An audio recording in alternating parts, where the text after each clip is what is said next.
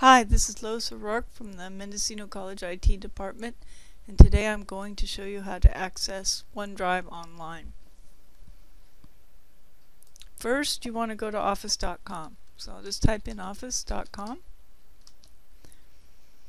and I will sign in.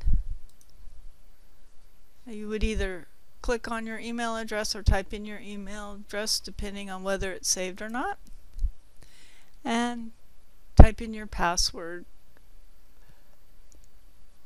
I'm just going to sign in there.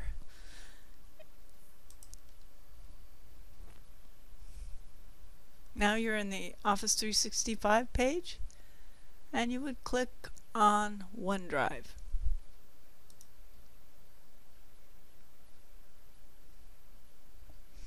As you can see I have three folders and a document. And that's how you access OneDrive online.